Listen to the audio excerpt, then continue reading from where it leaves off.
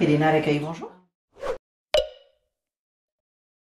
Alors si vous avez perdu votre identifiant, je vais prendre votre identité et contrôler dans notre base de données par plusieurs critères.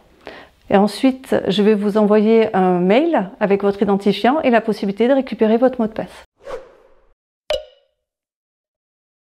Si l'adresse mail euh, correspond à l'adresse enregistrée sur le compte, on va vous envoyer votre identifiant.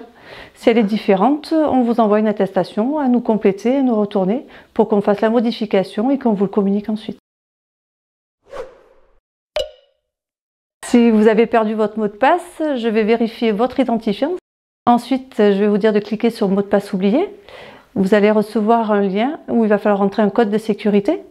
Et après, vous allez recevoir sur votre boîte mail un lien aussi qui va vous permettre de réinitialiser votre mot de passe.